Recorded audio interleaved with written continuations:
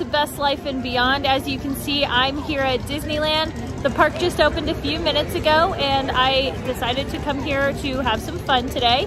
Uh, oftentimes though, I am asked, what are some healthy options I can eat while I'm at Disneyland? Or what are some tips and tricks you do when you're trying to stay on your diet and eat healthy here at the parks? So I packed a lunch, which I will dive into and show you. Um, but then I'll also go around the park and actually show you things that if you didn't happen to bring a lunch um, or breakfast that you could um, have while you're here. So as I said, the best thing you can do is actually pack your own lunch. You're allowed to bring food and drinks into Disneyland. Um, they have certain picnic areas or you could do like I do and I picnic myself around the park. Uh, I will go to Tom Sawyer Island, um, sometimes I'll just sit in the hub or even up here at the train station and look out over the park while I eat my lunch. Here it is. Here's my packed lunch. The first big tip after, I would say, packing yourself a lunch and some breakfast and snacks um, would be to make sure that you pack more than you think you're gonna need. So I packed probably enough food to last me through like at least eight hours, maybe even more. I actually eat breakfast before I get into the park, but fear not, I will still show you some breakfast options that are healthier that you can get. I try to pack like shelf stable items, stuff that doesn't need to be like heated up or stuff that doesn't need to stay cold because first of all, it can get so hot here at Disneyland and second of all, uh, you don't want to be carrying around all of those like ice packs if you do. Uh, it's just the best thing I can recommend is just you want something that can kind of last throughout the day. So like I said, I packed enough food for like an entire day, probably like eight or 10 hours just to be on the safe side. Um, but I put it all in one of these like plastic bags so in case I went on a water ride or something, it would all stay nice and dry. Um, I packed a couple of chips. These are the, um, I think they're like Cheez-It, sour cream and onion crackers. I think if you're following Weight Watchers green plan, these are, I think, two or three points just for 20 of those. Um, I'm gonna go through this real quick. I always grab these snack packs of Oreos. There's only two in there, but that's four points if you're on Weight Watchers. Um, let's see here. I packed a peanut butter sandwich. I used PB2, packed it the night before. Um, so that's five points. I always have these in my backpack. They're the Chomp um, beef jerky sticks. They have really clean ingredients and I believe they're only two points if I'm not mistaken. I don't remember, but I'll scan it later. Of course, I have my strawberries from this morning. I'll probably eat those again in a little bit when I um, finish recording this. And of course, I brought a plastic spoon and some no sugar added applesauce to have. Um, again, this stuff will keep me full for, you know, the entire day. It's definitely just a good thing to have to be prepared and to help you kind of stick with your diet. Um, then you can kind of splurge on some other things if you really wanted to. And I'll show you some things that I tend to splurge on when we get into the park and going in there to have fun. The omnibus pulling up. I'm gonna see if I can actually get a seat on that as I climb down these stairs so quickly. Let's see. Right here it is, the best seat in the house.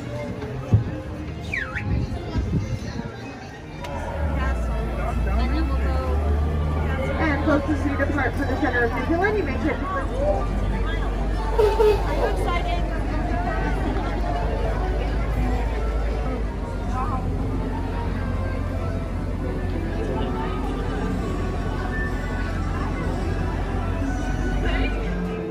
Okay, so if you happen to forget to eat breakfast at home and you're looking for some healthier options over here on Main Street at the Market House, it's basically a little Starbucks and in there there is a really good spinach and feta wrap. Um, I'm gonna go show you what that looks like but first I wanted to show you the cart next to the market house has a lot of uh, fresh fruits and vegetables.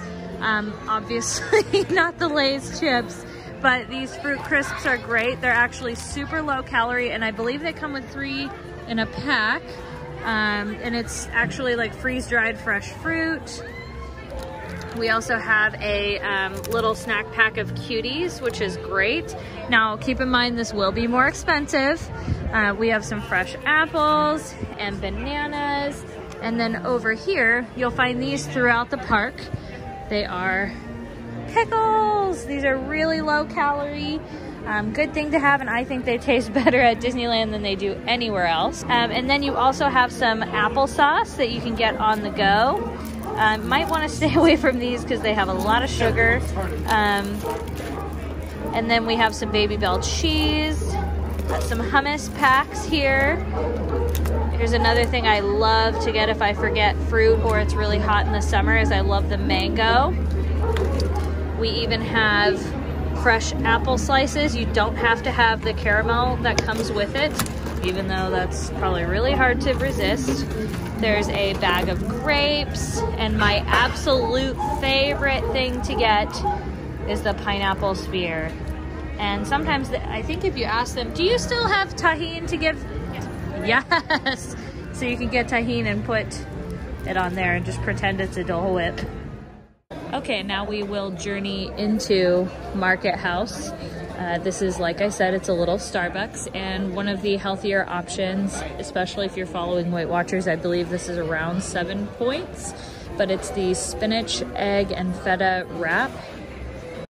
They also do have these egg bites, which I hear are a healthier option. I'm just not a fan of them. So it just depends on what you actually prefer.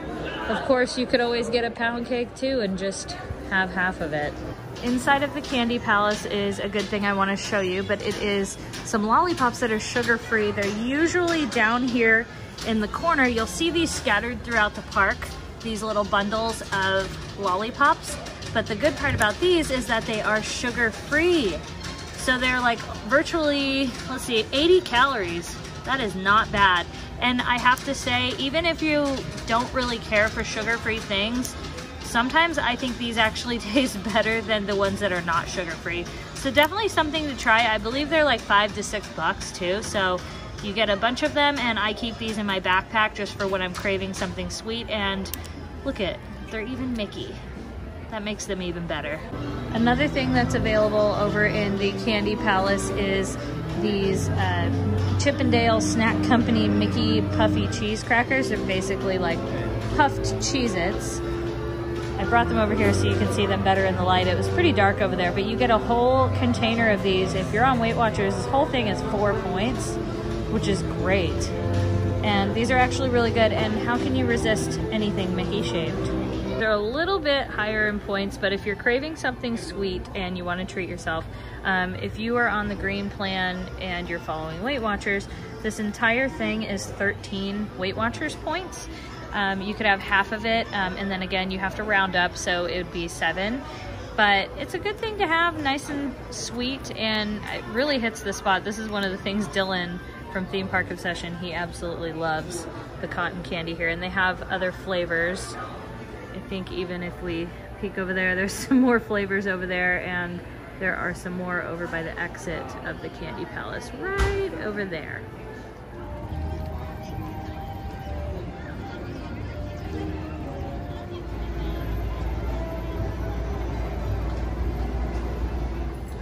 Making our way over to Adventureland, I am going to show you a place that I often get some snacks if I'm pretty hungry, um, or you can actually do lunch here. It's probably more lunch and dinner, um, but it is actually the Bengal barbecue.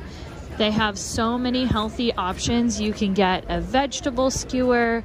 Um, you could actually just get what they have is like the banyan beef. You can do spicy. There's one that's uh, teriyaki. One that I love a ton is the bacon wrapped asparagus. so good, especially if you squeeze some lemon on there. The vegetable skewer is always a must do. And a way to cut the calories down with this is to ask for the sauce on the side so you can just dip it in. And it's a much healthier option to do, but um, definitely something to check out if you're here in Adventureland over at the Bengal Barbecue. Like I said about the fruit carts and food stands all around the park, there's one here also in Adventureland. Uh, this one I found these uh, fresh vegetables and some ranch, I think it is. Yeah, light ranch. So that's a good little healthy option to have. You can also get some baked Lay's. If you want some chips, say you even just packed a sandwich and you wanted some chips. Obviously, these are higher calorie, but uh, the baked are a great option to stay on track. Okay, so after walking past Bengal Barbecue, just smelling those skewers, I am now hungry. So I'm going to go find a place in the park and I'm gonna go and sit and eat some of my lunch or at least some of my snacks. I've been up since about like five or six, so it makes sense that I'm pretty hungry right now. So I'm gonna have some of my lunch over here. There's a little bit of shade on this table back over here by Small World.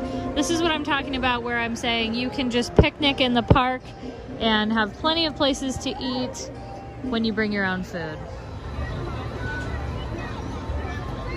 Over here in Tomorrowland, this is the Galactic Grill. And over here, there is a salad that I often get, and I just get the dressing on the side. Actually, I think it always comes on the side, but it is called the chopped salad. And there it is. It's a really good salad, super filling and delicious. I love it. You could also get one of those kids meals. It's a smaller portion, so that way you kind of save calories and points there. But uh, yeah, so over here is a really good option. There it is again, the old chopped salad. While I was venturing through Tomorrowland, I found some more fruits and vegetable options over at the fruit and vegetable stand. This was one. I found a big bunch of crispy cucumbers to crunch on with some lime. And I think you could also get some Tajín for these if you wanted to. And we found a nice cut up orange right there too.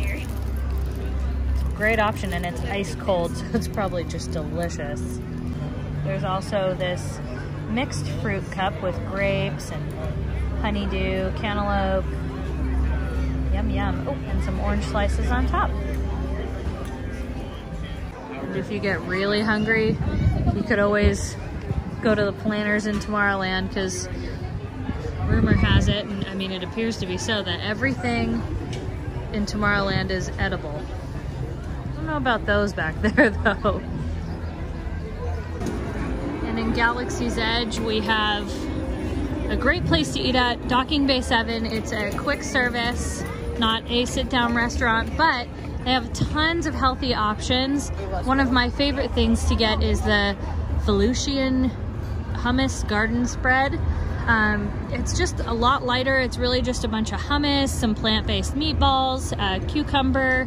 You don't even have to eat the pita. They also have a salad where you could get the ranch on the side. I also recommend the kids meals because they are just a smaller amount um, they have a really nice uh, black bean hummus vegetable platter that is just delicious as well. In Fantasyland at the Red Rose Tavern, another lunch and dinner item that I try to get often is the Lumiere chicken sandwich, which is really good. Um, even if you take off one slice of the bread, saves you a lot of calories there. Okay, that about wraps it up here for the day. It is time to go home. And then eventually we will head over to DCA and do some healthy foods over there and show you some of the places I like to eat when I'm over in Disney California Adventure. So if you like this video, let me know by giving it a thumbs up and subscribing to our channel. If you want to support Best Life and Beyond, you can become one of our Patreon members. I'll link all that information on how to do so in the description box below. Uh, in the words of Spence, bye bye everybody!